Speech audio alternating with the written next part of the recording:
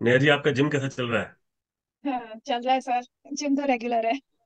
Gym regular है? Very good very good और आपका एनर्जी लेवल एनर्जी लेवल भी ठीक है सर। ओवरऑल मेरा भी around three and half to four K G weight reduce हुआ है। और दो तीन बहुत पॉजिटिव चीज़ें जो मुझे लगी है एक तो अ, मैं fourteen to sixteen hour regularly intermittent fasting अब कर पा रही हूँ। पहले नहीं हो पा रहा था लेकिन अभी fourteen to sixteen hour regularly it's become part of a habit कि कि वो करना ही है। तो उसके बाद मतलब छह बजे खाने के बाद भूख भी नहीं लगती है। लगती है तो थोड़ा नींबू पानी ले लो तो हो जाता है नहीं तो नहीं लगती है। प्लस फ्रूट्स काफ़ी डाइट में इम्प्रूव हो गए हैं। अ, पहले मैं बहुत कम फ्रूट्स खाती थी लेकिन अब fruits eating is become a part of my diet कि रोज फ्रूट्स नहीं खाओ तो लगता है कि कुछ छूट गया है तो फ्रूट्स खाना एक हैबिट हो गई है।